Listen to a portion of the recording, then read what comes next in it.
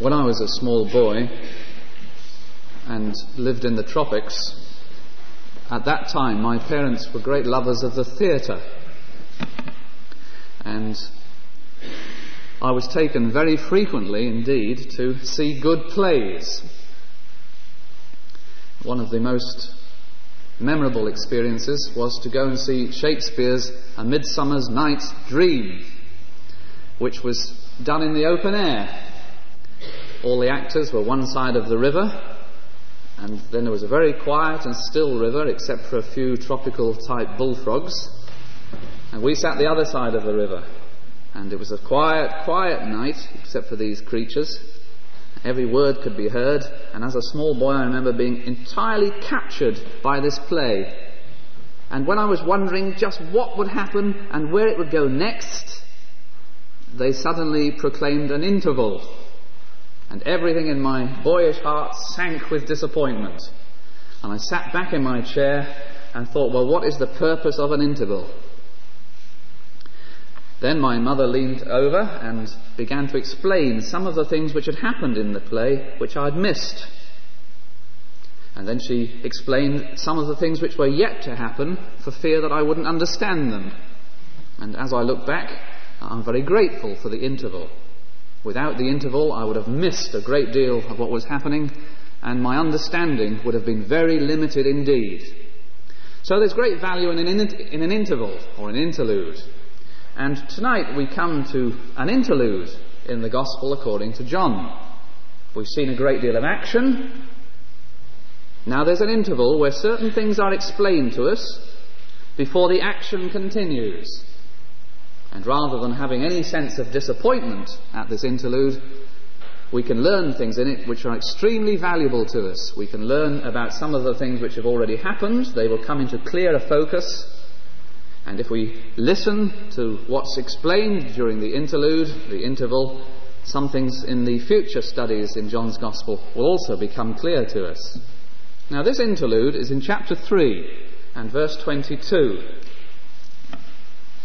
We've studied the second sign of Jesus, how he, dis- he turned people out of the temple, that great display of authority. And we've listened to his teaching of Nicodemus, and inside us, everything is saying, well, what will the third sign be? What will Jesus do next? And what will the next piece of teaching be? But instead, we have this interval. Now, in this interval, we have a question, an answer, and an explanation. So let's first of all go to the question and look at verses 22 to 26. Now, if you look at verse 22, you'll see that Jesus and his disciples have now left the city of Jerusalem where the temple had been cleansed and where Nicodemus had been spoken to. And yet they remain in the countryside of Judea, which is nearby. And there our Lord remains with his disciples and he baptizes, and maybe he was there for a considerable time. In verse 23, John, the writer, is very careful to point out that while Jesus was doing that,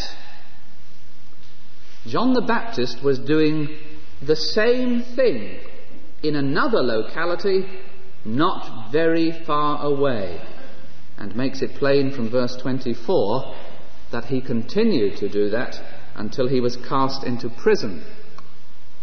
We know, don't we, from Matthew's Gospel and from Mark's Gospel, that our Lord's ministry didn't really become public in the proper sense of that word until after John was cast into prison. So we have this situation Jesus in the desert, teaching, baptizing. John in the desert, teaching and baptizing. And both of them not very far from each other both of them in out of the way places, both at the same time, and at least outwardly, both of them doing exactly the same thing.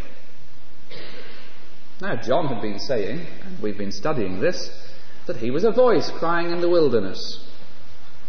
He had pointed to Christ and said, Follow Christ. He's the Messiah. We've seen, in fact, how two of John's disciples had left John and gone to follow Christ.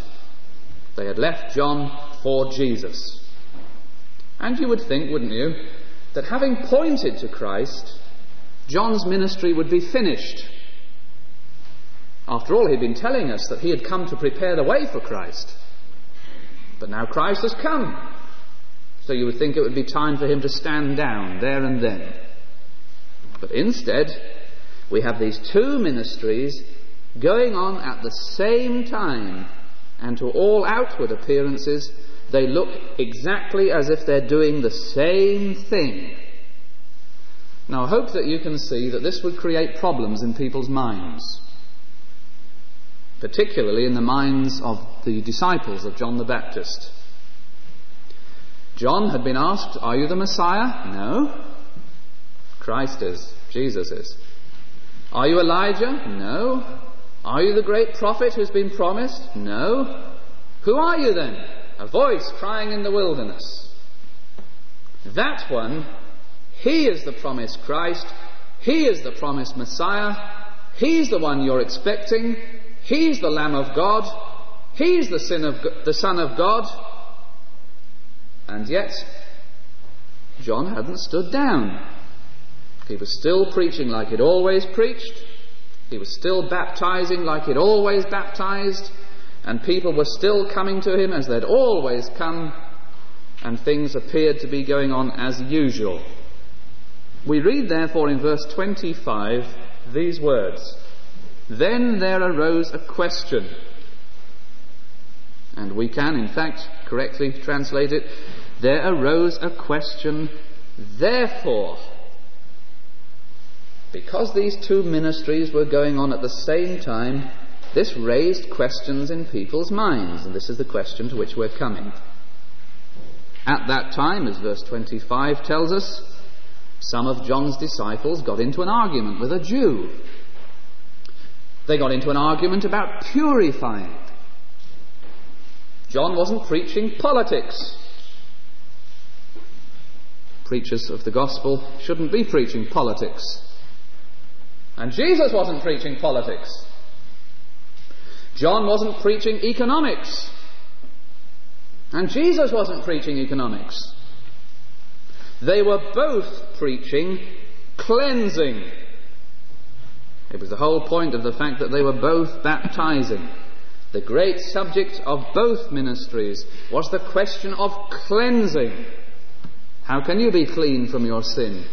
How can you have a heart washed?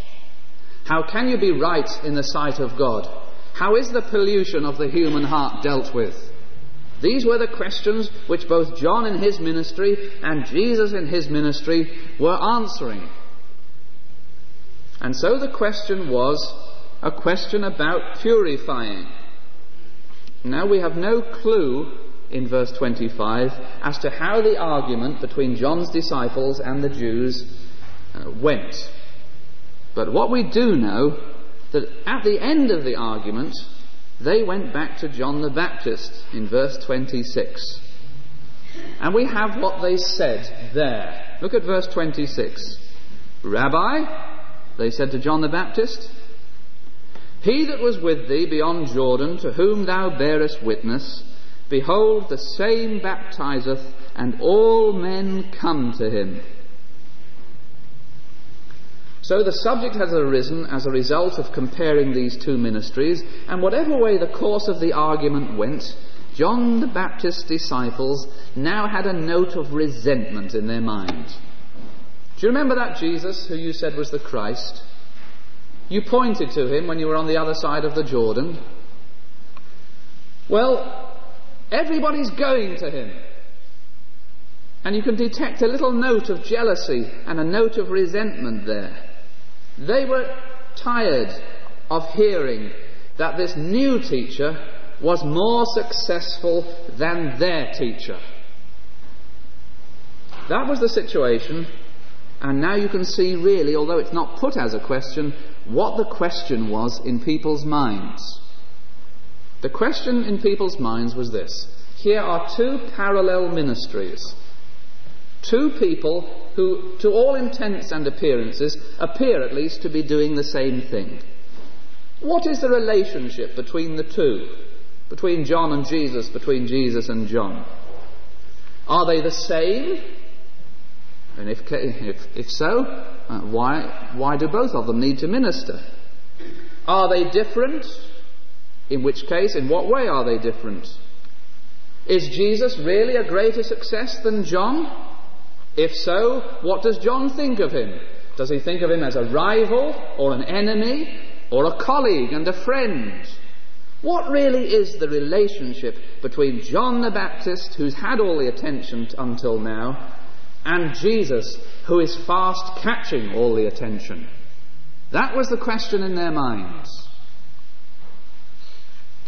Well, from that question, we go to the answer. Look now at verse 27 right through to the end of verse 30. Because in this interlude we have a question, an answer, and an explanation. Look at verse 27 where John begins his answer, John the Baptist. What John the Baptist did, and the more I read of him, the more I admire him, was that he underlined a great principle.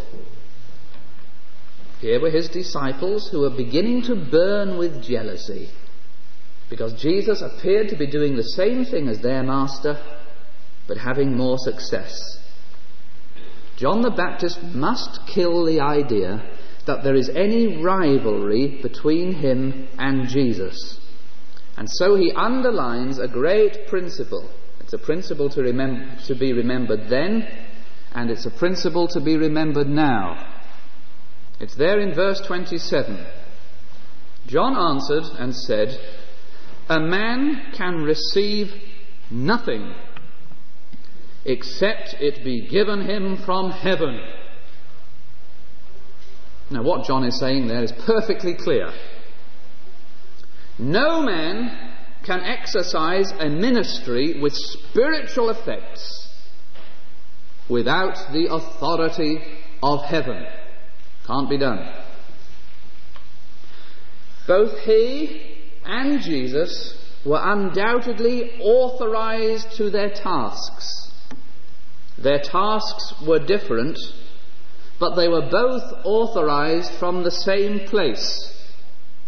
And therefore, there is no possibility of John and Jesus being considered to be rivals. In verse 28, John the Baptist defines what his own ministry was. Ye yourselves bear me witness that I said, I am not the Christ, but that I am sent before him. I've received a ministry from heaven, says John the Baptist. The ministry I've received is that I've been sent not to be the Christ, but to prepare the way for Christ. I am not the Christ, I've been sent to do that.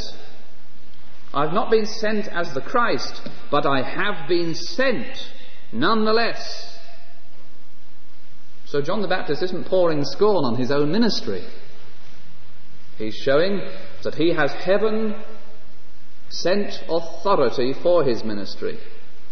Jesus has heaven sent authority for his. Their ministries are different, but they have the same authority. They, they're authorized at least from the same place. Therefore, they can't be thought of as rivals. Then he uses a vivid picture in verse 29. In fact, John, whenever he spoke of Christ, used vivid pictures. You remember already in his preaching, he's spoken of Christ as a man coming with a fan in his hand, or as one coming with fire, or as one coming with an axe, or he's described him as the one who is the Lamb of God. But this time he uses a completely different picture to describe the relationship between himself and Christ. He speaks of Jesus in verse 29 as the bridegroom. It wasn't a new picture. Hosea had already used that in the Old Testament, and so had Ezekiel, and so had Malachi, and so had Solomon in the Song of Songs. But he speaks of Jesus as the bridegroom, and he speaks of himself as the friend of the bridegroom, or as we would say in modern English, the best man. Now, is there any competition, in the strictest sense of the word, between the bridegroom and the best man?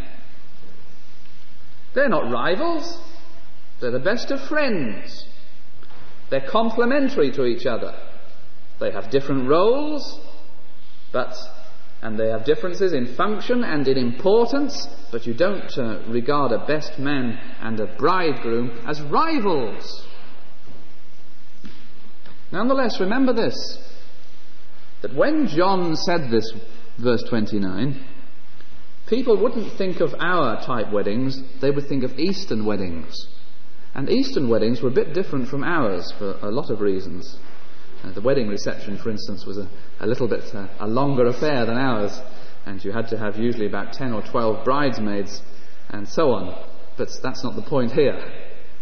In an Eastern wedding reception, in an Eastern wedding, should I say, the groom said nothing until a certain point was reached in the service.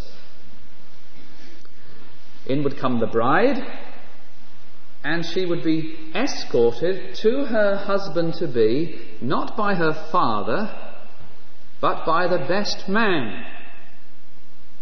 The best man would introduce the bride to the bridegroom. And as a sign that he accepted the bride, for the first time in the service, the bridegroom would speak. And he didn't speak until the formal moment when he accepted the bride. And at that stage, the best man handed over the bride, and that's what John is talking about here. Look at verse 29. He that hath the bride is the bridegroom. But the friend of the bridegroom, which standeth and heareth him, rejoiceth greatly because of the bridegroom's voice. That's my role, says John. I'm the best man, and I'm filled with joy because the bridegroom has spoken and accepted his bride. I must decrease, he must increase. That's the great classic verse. Of course, I've put it round the other way, but I'll put it right in a minute. Now, because you imagine the wedding. In comes the bride, escorted by the best man. All eyes are upon the bride. They're always on the bride. If you don't believe that, come to the next wedding. Everybody looks at the bride. But when they're looking at the bride, they're looking at the best man as well in this particular wedding. Now they're watching as the best man hands over the bride to the bridegroom. Now all eyes are on the bride and the best man and the bridegroom. So all eyes, for a few minutes at least, have both the best man and the bridegroom in their vision at the same time. But of course, when the ceremony is over, it's not the best man who goes away with the bride, it's the bridegroom. And so all eyes eventually are on the bridegroom, and the best man fades out of the picture discreetly. Can you see what John is saying? All eyes have been on him because he's been the one who's escorting the bride. For a little while, all eyes will be on him and the bridegroom together. But as he hides hands over the bride, it won't be long before all eyes are on the bridegroom and he will fade out of the picture. That's precisely what he means when he says in verse 30, He must increase, but I must decrease. Because you'll remember that John the Baptist had been preaching that Christ is the Messiah. He'd already encouraged, as we've seen, two of his disciples to go after Christ. Christ had accepted them and they'd become Christian believers, as had a few others. For a while, these two men had their ministries side by side. But the future was to be a stepping down of John and our Lord Jesus Christ having more and more attention he had led the bride to Christ. Christ had spoken and accepted the bride, the bride being his, those who believe in him, and before long all eyes would be on Christ alone, and there would be no eyes left on John the Baptist. As I said to you just now, I admire John the Baptist. John the Baptist was content to be nothing. He was content to be unnoticed, provided his Saviour received the attention. Are you? John the Baptist was content to point to the Saviour and to be forgotten himself. Are you? Jesus called that attitude spiritual greatness when he spoke later of the qualities of the life of John the Baptist. Spiritual greatness is the contentment to be unnoticed as long as Christ is noticed. So we've had a question, an answer, and we conclude by looking at verses 31 to the end of the chapter by having an explanation. We've seen the question what is the relationship between these two ministries? We've seen the answer. The relationship between them is the relationship of a best man to a bridegroom. But now John the writer adds his own personal comments from verse 31 onwards. Here is the Apostle John, never confuse him with John the Baptist. Here is the Apostle John adding his comments on the things which he's just recorded. You see, John the Baptist has been showing the difference between himself and Christ.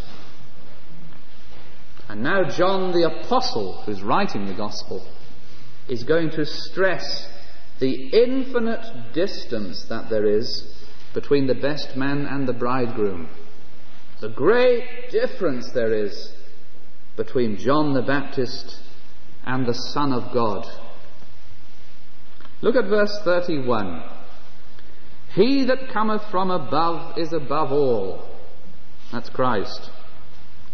He that is of the earth is earthly and speaketh of the earth. That's John the Baptist. He that cometh from heaven is above all. That's Christ. Now, if we can have an interlude within this interlude, if you see what I mean, notice that verse 31 does not say, He that came from above is above all. It says, He that cometh. In other words, he who, com- he who comes and is still coming. It does not say, He that came from heaven is above all. It says, He that comes from heaven is above all. We have there just a hint into the great truth of the eternal generation of the Son. Jesus Christ is the eternal God. He is God in the same sense as the Father is, and He is God in the same sense as is the Holy Ghost. And yet, everything, and this is the mystery of it, everything that Jesus Christ is, he owes to the Father. That is the mystery of the eternal generation of the Son. He was never born, and yet his life flows from the Father. That's one, and John the Baptist, says John, is of the earth, earthly, and speaketh of the earth. There's no disrespect there for John the Baptist, it's just the limitations of his ministry are being recognized.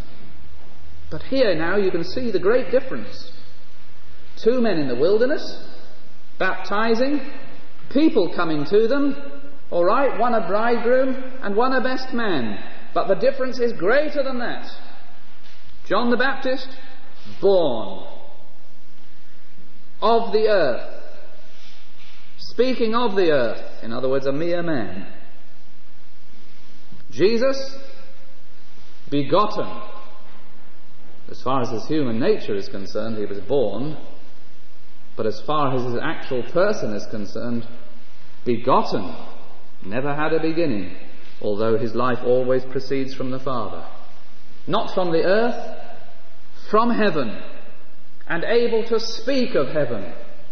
And, says John twice in verse 31, above all. He's the God man. And that was the difference between the two ministries in the desert. One was a man speaking the words that God gave to him.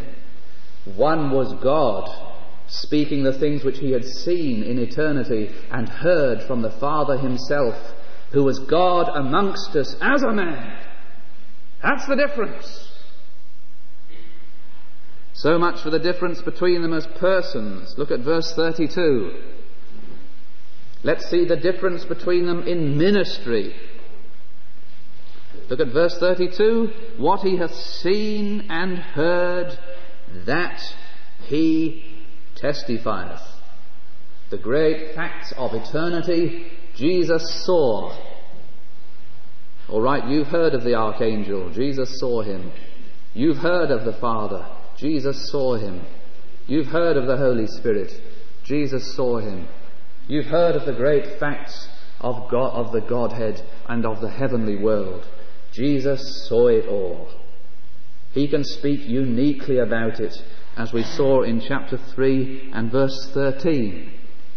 And the things that he's heard, he can speak. You've read in the Old Testament that God the Father commissioned God the Son to come into the world. You've read it. But Jesus heard it. He heard from God the Father the commission to come into the world to save his church. He saw it and he heard it, and it's those things that he speaks. That's the great difference in the ministry between John the Baptist and Jesus. Nobody else but Jesus, the Son of God, could do that. And yet, look at the surprising thing which is said at the end of verse 32. And no man receiveth his testimony. When Jesus speaks of heaven, he speaks with authority, with personal knowledge, uniquely. And yet, by and large, and that's true today also, men and women just do not heed what the Son of God says. But thank God some of them do. Look at verse 33. He that hath received his testimony hath set to his seal that God is true. In other words, when people hear the teaching of Christ, the majority of them treat it as if someone's trying to pull the wool over their eyes. They don't accept it as the truth of God. But there are those who, when they hear the teaching of Christ, accept it as the truth of God. They set their seal to this fact that God in Christ is telling them the truth. Because, verse 34, it was God who sent Christ. And therefore, the words which Christ speaks are God's words. And that is true because of verse 34. For God giveth not the Spirit by measure unto him. Well, says somebody, Pastor, it's, it's, it's getting on a bit and it's getting a bit difficult. Well, think of it like this. Imagine the most godly person that you've ever met. You found out, didn't you, after you knew them a few weeks or months, that they had a few blind spots and a few warts and, and they weren't quite as godly as you thought. Didn't you? You've met people who you thought were absolutely perfect. So some people who made such an impression on you that when they walk down the aisle of the church, all the hairs on your backbone stand up. Perhaps there isn't anybody like that here, but I, I knew a few like that years ago, and uh, I know a few like that today. And you feel, Oh, to be as godly as that. And yet, when you get to know them a little, you find that they're men after all, they're women after all. they are filled with the Spirit. It's the only word you could use. Their personality is dominated by the Holy Spirit, and yet not completely dominated. There's still faults and things in them which you can, even you can see as faults. So they're filled with the Spirit, but not completely dominated by the Spirit. And therefore, although 90% of the time when they speak, they may speak things which are true and righteous, there are those occasions where what they say isn't exact or slightly off beam and sometimes actually wrong. Now, it was never like that with Christ. Never. God doesn't give the Spirit by measure unto him, because in Christ the whole fullness of the Godhead dwells bodily. The whole of the Holy Ghost dwells in the Lord Jesus Christ because he enjoys that intimate union with him as members together of the glorious Trinity. There is no limit to his spirituality, and there is no part of Christ which is tainted or touched with sin or imperfection or falling short. And therefore you can be certain that everything which Jesus says is absolutely so, because God gives not the Spirit by measure unto him. That's the great difference between the Lord Jesus Christ and John the Baptist. He was sent by God. He was God. He was filled with the Spirit from his mother's womb but in him the whole fullness of the Godhead dwelt bodily. So we read in verse 35 that Christ's relationship to God is unique. The Father loveth the Son. The relationship which these glorious persons have to each other can be described in such homely language as Father and Son and they are bound together as members of the Godhead by a bond of love. The Trinity is a, is a personality of love. And have given all things into his hand, which means that everything that God does, he does through Christ. Everything. How did God make the world? Through Christ. How does God uphold the world? Through Christ. How does God save sinners? Through Christ. How does God judge the world, all men, women, and angels? Through Christ. How does God end the world? Through Christ. How does God create His heaven for His people? Through Christ. Everything which God ever did and does, He has done and does do through Christ.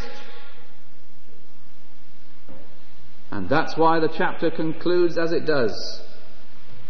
There is no hope of anybody having the life of God in their soul, that's eternal life, who therefore does not come to Christ. Because everything that God does, even the giving of eternal life, which is the placing of his own life in the human soul, he does that through Christ. He doesn't do it through Christianity. He doesn't do it through church. He doesn't do it through Bible reading, although these things are vitally important. He does it through Christ. He doesn't do it through your good thoughts or your good works or your good intentions or your hopes or your desires or your tears or your heartbreaks. He gives eternal life only through Christ.